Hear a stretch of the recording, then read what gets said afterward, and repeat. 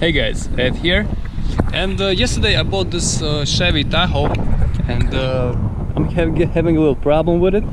The thing is uh, the oil pressure light comes on and uh, that's something I have to fix. So let me show you what's going on. So first I start the car and after the car is running for a bit, one second. Okay guys, so this is the story. Uh, I get the oil pressure light which says oil pressure low, stop engine and the oil pressure drops. So yeah, this is where I'm gonna go now and uh, put in the, the motor flush and we'll see if it helps or not. Let's go. Alright guys, so I parked here. That's the place where I'm gonna change the oil and uh, let's put this uh, flush into the crankcase. So what we have to do, we have to op open the hood.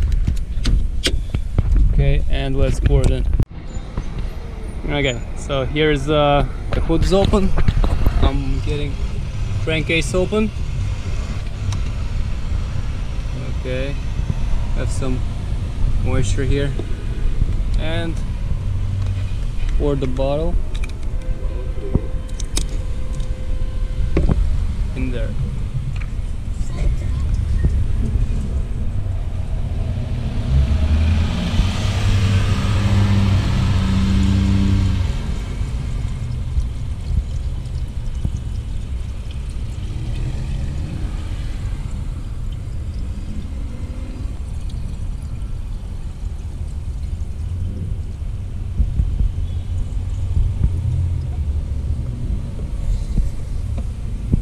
Alright, so close the bottle,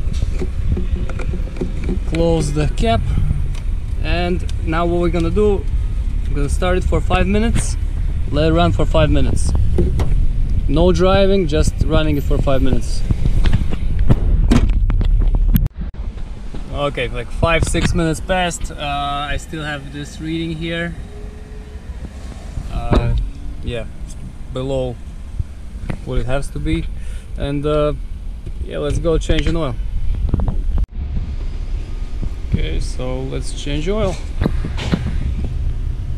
Alright guys so I just did the the oil change and the car wash and uh, so here's the story. It raised my uh, oil pressure actually. So it was it's like 30 something right now. And uh, it's been holding like this for a while. So now I'm gonna drive it and uh, see where it's gonna get me. So right now what's the mileage? It's uh, let me check.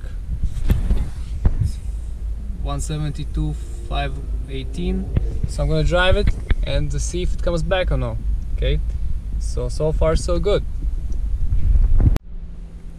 Hey guys. So mileage right now is 172 530 which is uh, I believe it was 18 before and uh, yeah it holds around 40 all the time.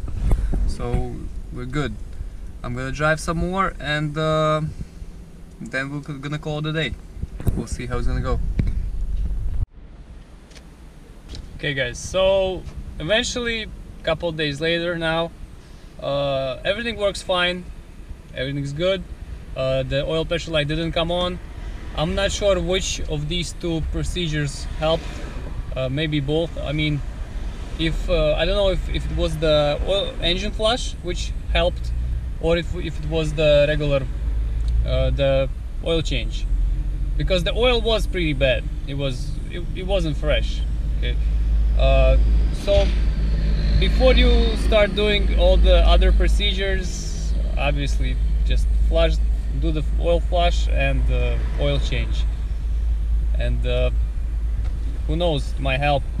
So hope I hope this is gonna be your situation. You don't have to change the oil pump or nothing like that. So have a great day. Bye